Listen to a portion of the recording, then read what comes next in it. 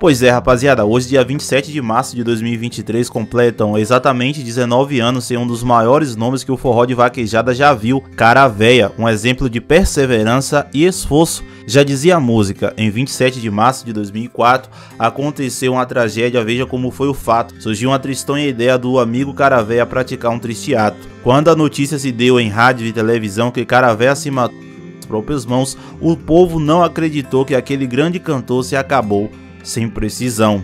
Em 27 de março do ano 2004 aconteceu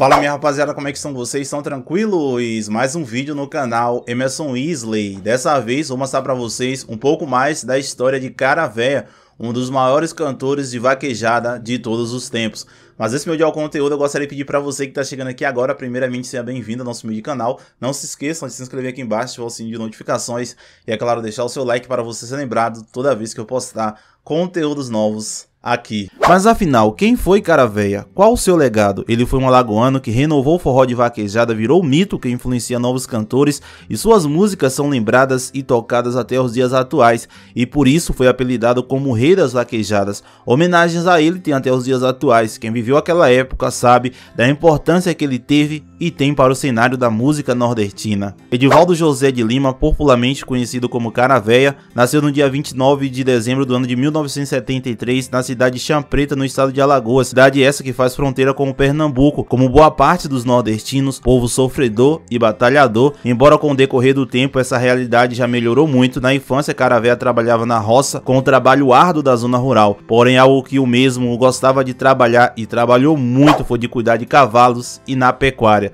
Na infância, seus pais se separaram, sua mãe, então, que trabalhava de diarista, foi morar em Maceió. Caravéia ficou morando em Champreta. Aos 16 anos de idade, ele se casou com Lenilda Félix da Conceição Lima, popularmente conhecido como Nilda. Na época, como eles eram muito novos, os pais dela tiveram que assinar os documentos.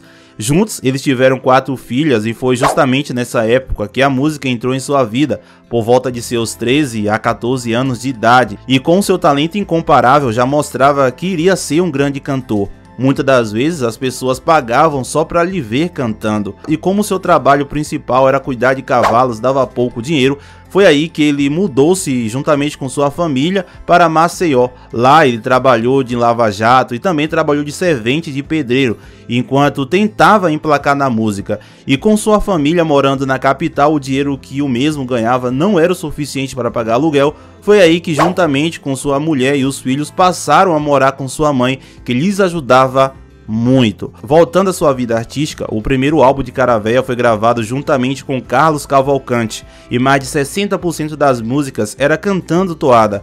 E o álbum, por incrível que pareça, devido às condições da época, a gravação foi bastante amadora, mas o suficiente para despertar um interesse muito grande nas pessoas. Esse álbum que ele gravou com Carlos Cavalcante não se destacou da maneira que eles esperavam, inclusive nem chegaram a fazer turnê juntos.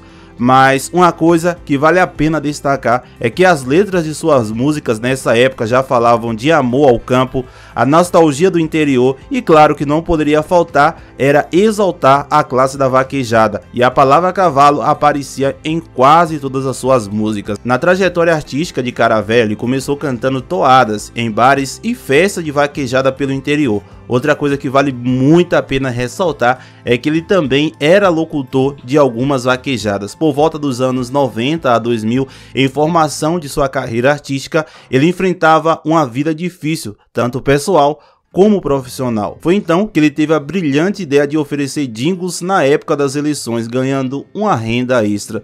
Com os valores recebidos, ele gravou o segundo álbum, dessa vez em parceria com um cantor chamado Perreca. Curiosidade é que as músicas desse álbum foram todas escolhidas por Cara Véia. Curiosidade também que foi nesse álbum que teve a música Foi Você, um grande sucesso na voz do cantor. Caravéia nessa época não tocava nenhum instrumento e fazia as músicas de boca, registrando em fitas cassetes e quem lhe ajudou a arranjar e transformar essas criações em projeto foi o safoneiro Sebastião José Ferreira Marcelino, mais conhecido como Chameguinho. Os dois se conheceram em Maceió e começaram a fazer shows de forma precária. O show era muito barato e não tinha empresário, ele mesmo que vendia e não podia pagar banda. E por volta do ano 2000 para 2001, ele gravou o primeiro álbum solo em um grande estúdio chamado Som Max, regravando assim algumas músicas que ele já tinha gravado antes, porém em uma qualidade muito melhor. O grande exemplo foi a faixa Foi Você, ultrapassando a marca de mais de 80 mil cópias vendidas na época. Dentre os sucessos que ele gravou estão Filho Sem Sorte, Paixão de Boiadeiro, Boi de Carro, Sua Ingratidão, além de músicas de sua autoria como Sonho Colorido, Casamento de Vaqueiro, Foi Você e Princesa do Montes. Mulher ingrata e fingida, eu sou um filho sem sorte que só nasci pra sofrer. Foi você que me fez sonhar. E infelizmente, em 27 de março de 2004, aconteceu uma grande tragédia, dia em que Caravéia, considerado um dos maiores cantores de forró de vaquejada já existente, tirou sua própria vida, fazendo história, ajudando na popularização do forró de vaquejada. Muitas pessoas, até o presente momento, consideram Caravéia como um dos maiores cantores de vaquejada de todos os tempos. Você também concorda? Deixa que marcha nos comentários. Tô com ele em 27 de março, a Champreta estremeceu.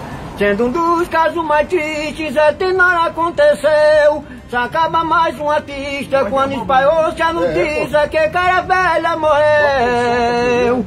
Morrer no apartamento, de braço aberto no chão, de sangue todo molhado, pedindo a Deus o perdão. Acabou seu prazer, fazia pena se ver o cara velha no chão.